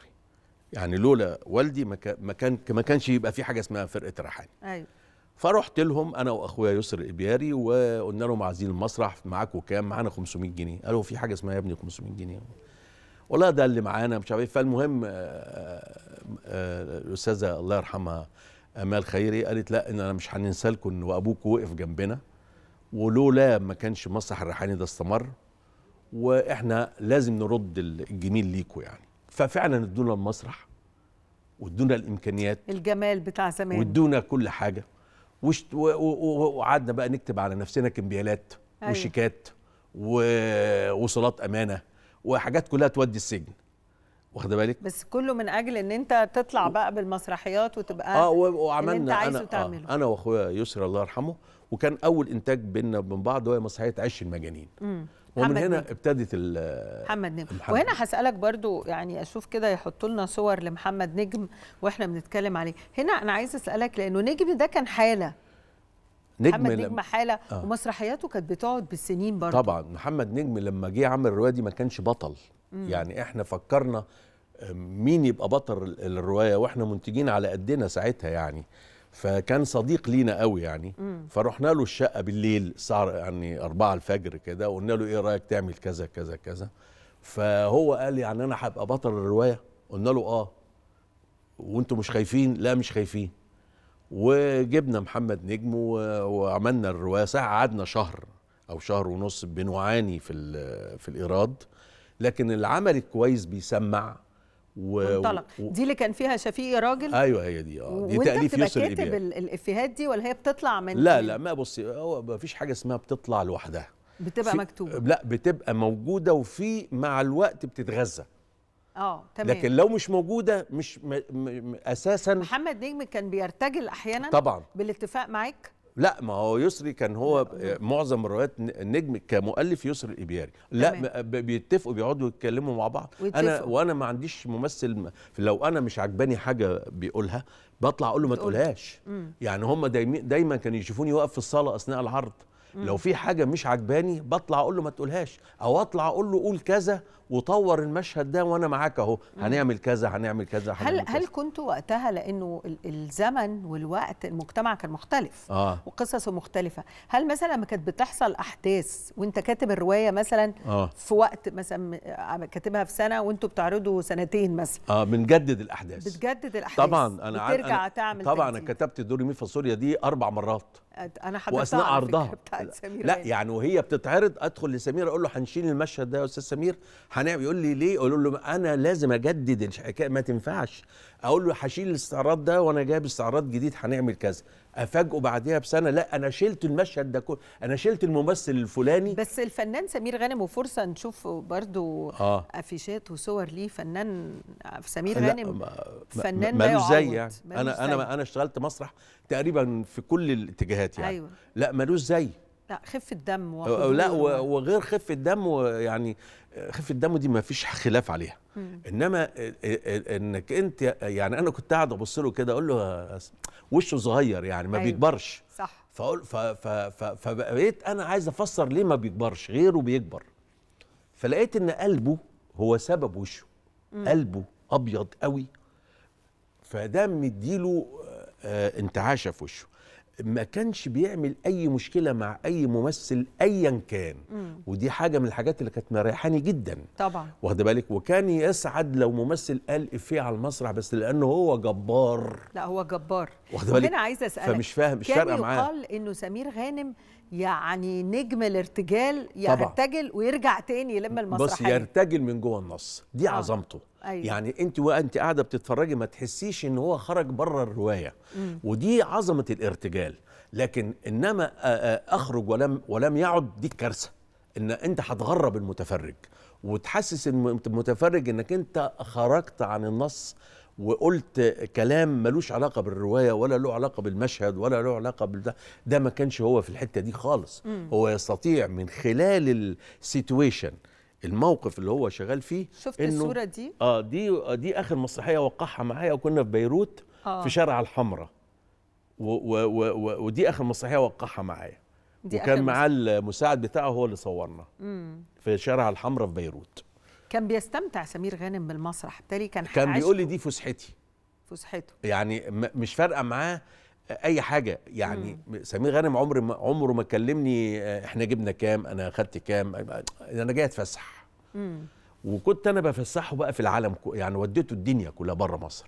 رحتوا فين؟ آه، فاحنا في أي حتة أي بلد آه، سافرتوا في- بالمسرحية في أماكن كتير؟ مش بمسرحية مسرحيات كتير. بسما آه يعني يعني رحنا كل حتة. يعني حتى أنا ما كنتش بستنى آه، آه، زي ما بيقولوا مثلا شركة تشتري المسرحية عشان نعرضها. كنت أنا أنزل وأنا أروح أنا أأجر مسرح في أي في البلد اللي أنا رايحها وأجر الأوتيل واشتري تذاكر طيران للفرقة كلها وأعمل إقامة للفرقة كلها في الأوتيل و... و... ودعاية وكل ده على حسابي وهو يجي يعرض فكان ملك يعني طبعا. معاه منتج قال له أنا يعني كان تونس مثلا تونس دي الدولة دايما تشتري مم. تشتري ثلاث عروض أربع عروض والله لو كان مين هو مم. لو نجم النجوم مم. هم أربع عروض مم. خلاص وبنعرض في المسرح البلدي ده في في شارع الحبيب بورقيبة ده يعتبر المسرح القومي بتاع الدولة. فجه في مرة قال لي أنا عايز أروح تونس. قلت له أنا لو رحت أكلمهم هيقولوا لي ناخد ثلاث حفلات وبتاع. سيبني بقى المرة دي أنا آه، زي كل مرة أعمل لك. عرض هناك. فرحت نزلت تونس ورحت السينما اسمها كوليسيه في شارع الحبيب بورقيبة برضو ورحت قابلت أصحاب السينما. أنا عايز أجر السينما دي وأعرض عليها مسرح. قلبتها مسرح. وجبت سمير غانم بالفرقة بالكامل. قعدنا هناك 21 ليلة عرض. طبعا كسرتوا الدنيا. 21 ليلة عرض في تونس دي ما فيش ما حصلتش في التاريخ. طبعا. هم أربع حفلات أو ثلاث حفلات. آه. أكتر من كده؟ لا. خلاص. وما كملناش عشان إحنا عندنا افتتاح في القاهرة. مم. يعني نحن لازم نكمل العروض في القاهرة. فكنت أنا بعرض له في رحت فتح عملت له مسرحيه في لبنان قعدنا ثلاث شهور نعرض كل يوم. مم. وصل بينا إن إحنا نعرض أربعة الظهر وتسعة بالليل. آه، حفلتين. آه مش قادرين نست... سمير غانم أنا بعتبره أنه في المسرح في المسرح آه، نجم آه، طاغي. طاغي. رغم إن أنت اتربيت مع إسماعيل ياسين آه آه والحصري ولا ما إسماعيل ياسين ده كان كارثة كمان. لا أيوة يعني أنا, أنا اللي يعني أقول لك بقى. مصر ولاده. لا ما إسماعيل ياسين ما كانش. فيه كرسي فاضي في الصالة. عمر ما شفت كرسي في واحد فاضي في الصالة. مم. خلاص؟ إلا الناس آخر كانت آخر قوي. سنة لما عي في سنه 66 وما قدرش يشتغل. إسماعيل ياسين ما فشلش. إسماعيل ياسين خانته صحته. هو الجملة تتقال كده. أيوه. مش فشل. لا مش فشل. مم. إنما راجل كان بيحب الشغل لدرجة إن صحته راحت منه. أيوه. راجل بيصور طول اليوم ويجي بال... كان بي... كنا بنعرض في اسكندرية بالليل ويخرج بعد السواريه يركب العربية يسافر عشان يروح القاهرة يصور أفلام الصبح ويرجع تاني اسكندرية يصور ب... يعرض بالليل. صح، ده ع- عنده مشوار ف- فسنوات كبير، سنوات سنوات، طويلة. فصحته خانته هو لو فنان صحته خانته هيقدر يكمل؟ مش هيقدر يكمل. مين في المشوار تحول من نجم معاك في, في مسرحيات إلى صديق؟ إلى صديق؟ آه. مين؟ هو مين- سمير غانم. مين منهم؟ هو سمير غانم. سمير غانم. سمير غانم حتى لو إيه لازم يكلمني ويعني لو إيه في أي ما فيش شغل في شغل بيشتغل في أي حاجة. آه، مش لازم يك- يكلمني لازم ياخد رأيي. أيوه ياخد معاك رأيي. على طول. آه. إيه أكتر مسرحية انت بتعتبرها ده ال master scene بتاعكم أنتوا الاثنين انت وسمير غانم. ما بصي كل مسرحيه عملناها كانت حلوة. كان ليها حاجة. كان ليها كانت حلوة. بس أنا كنت حابب قوي أنا ومراتي ومونيكا.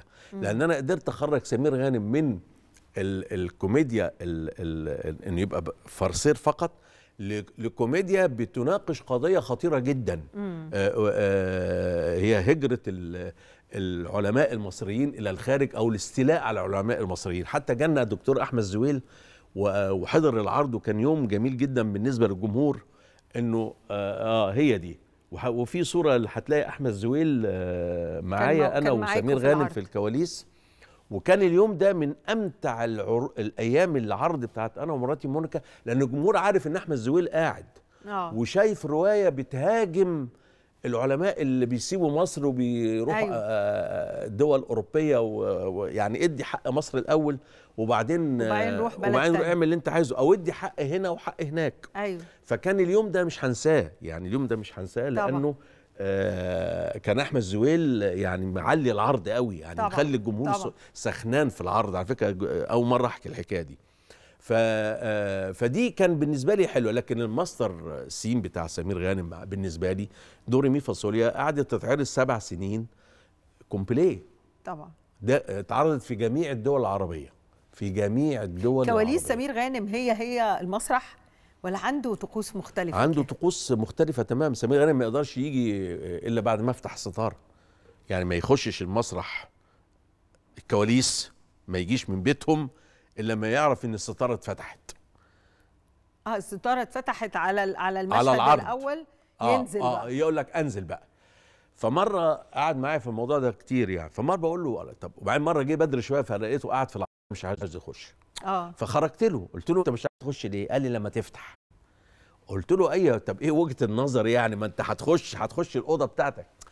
قال لي يا أحمد يا أبو حميد أنا لو دخلت والمسرح ساكت بحس إن أنا داخل بروفة مش عايز الإحساس ده أنا. عايز أخش ألاقي المسرح فيه ضحك فيه إضاءة آه، في جمهور بيسقف.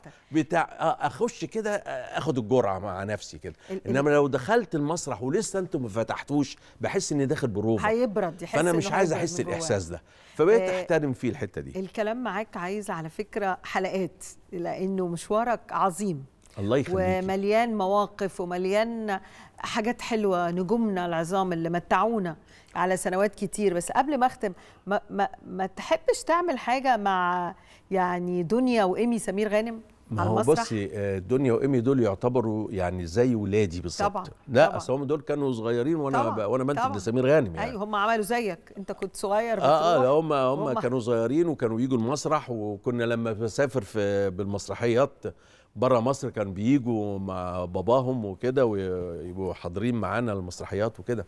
أنا أتمنى طبعا أعمل لهم حاجة. يا سلام. أتمنى. تبقى حاجة حلوة. آه. وتكمل وبعدين عايز أقول لك. حاجة معلش قبل ما نختم اللقاء ده لأن من ضمن ال ال ال الرحلة دي إحنا تعرضنا شوف بقى لما إحنا تعرضنا للإرهاب مش بموضوعات فقط ولكن إحنا تعرضنا للإرهاب.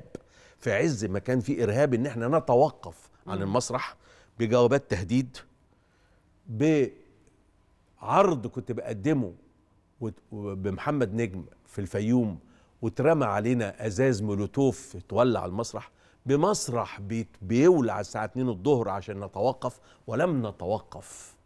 ولم نتوقف.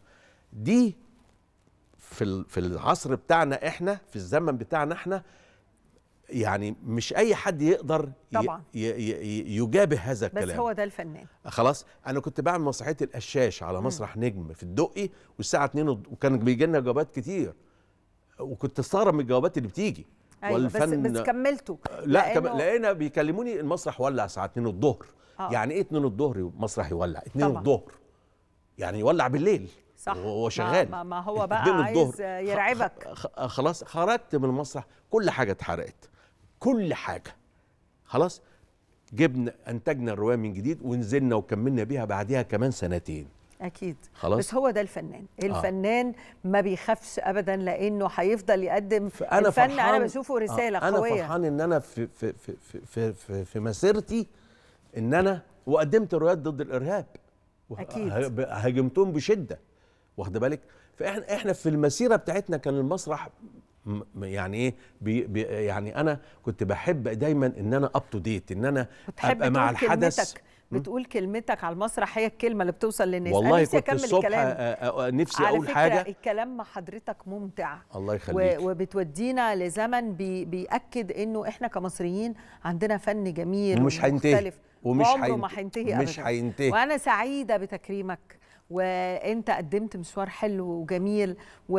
ومنتظرة ليه لا يكون في عمل يكون في بقى دنيا سمير غانم والله أنا أتمنى تكمل المشوار أتمنى. ونرجع نكمل كلامنا لأنه توعدنا بحوار تاني آه، في. أحاديث كتيرة قوي. نورتنا النهارده مبروك على. التكريم الله و... يخليك. ميرسي. و... ومنتظرين إن أنت تفضل تكمل المشوار إن شاء الله. ال... ال... إن شاء الله. المؤلف والكاتب والمنتج أحمد الإبياري نورتنا في التاسعه بشكرك ميرسي شكرا ميرسي جزيلا الله يخليك شكرا هو جزيلا كده بلدنا زي ما قلت لكم دايما فيها كنوز.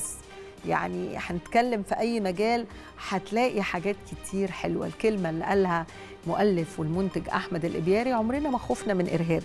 دايما الفن سلاح سلاح قوي. سلاح بيعبر عن وجدان مصر عن ثقافة مصر عن قوتها. ولا ممكن ابدا سلاح الإرهاب يوصل طول ما إحنا بهذه القوة. الثقافة تعني الوعي. طول ما عندنا وعي تفضل الثقافة تحمينا وبلدنا دايما في خير. انتهت التاسعة ليوم الخميس. غدا بإذن الله تكملون مع الزميلة جمانة. أما أنا ألتقي بكم بإذن الله إن شاء الله الخميس القادم وإن شاء الله يكون مميز. تصبحوا على ألف خير.